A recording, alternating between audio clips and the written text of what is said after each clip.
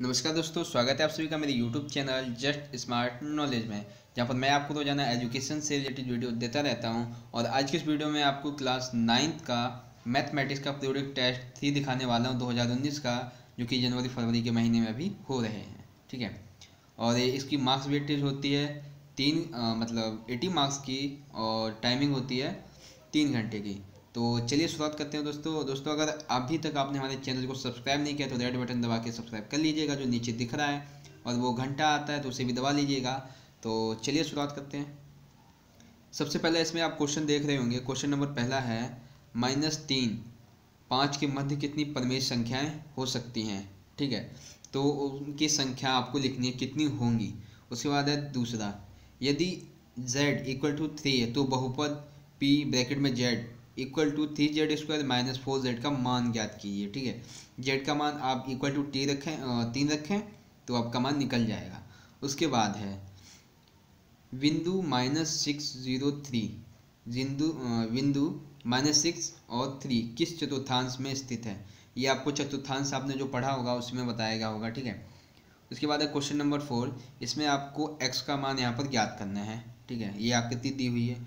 उसके बाद ऐसे क्वेश्चन नंबर फाइव है कि शंकु की आधार शंकु की आधार की त्रिज्या सात सेंटीमीटर है, ऊंचाई है दस, इसका आयतन ज्ञात करना है। फिर आंकड़ों का माध्य ज्ञात करना है, बहुत ईजी है। उसके बाद है section number B section number B में क्या है? पहला क्वेश्चन ये है, दूसरा, तीसरा, और तीसरा है, इसमें एक वृत्त दिया हुआ है बी ओ सी का मान ज्ञात करना है। पहले केंद्र में ओ है, ठीक है? और डिग्री दे रखा है ए एक डिग्री में है, यानी थर्टी तो आपको ऐसे बी ओ सी का मान ज्ञात करना है, ठीक है? तो बहुत ही इजी इजी है, ठीक है? आगे देखते हैं, आगे है क्वेश्चन नंबर ये दसवा है कि यदि बेलन का वक्र क्षेत्रफल अट्ठासी सेंटीमीटर है, ऊंचाई ये है तो त्रिज्या यानी कि आपको आर ज्ञात करनी है, बहुत ही आसान है। फिर है, पहले सात अभाज्य संख्याओं का माध्य ज्ञात कीजिए। अभाज्य संख्या यानी जिन्हें भाज्य नहीं किया जा सकता यानी जो दो से गुना नहीं होती है मतलब दो से भाग नहीं होती क्वेश्चन नंबर बारह, सिद्ध करने के कोई चक्रीय समांतर चतुर्भुज का आयात कहता है। आयात कहलाता है, ठीक है?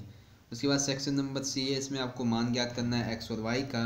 फिर ऐसे क्वेश्चन नंबर पंद्रह है कि टू माइनस एक्स को इक्वल टू सेवन इसको ग्राफ पर खींचना है, फिर ऐसे सोलवा क्वेश्चन सत्रह, अठारह, उन्नीस, ऐसे ही और भी इसमें क्वेश्चन दिए हुए हैं तो आप देख लीजिएगा इसमें क्या क्या क्वेश्चन यहाँ पर दिए आपका सेक्शन डी आ जाता है पाँच पाँच नंबर का।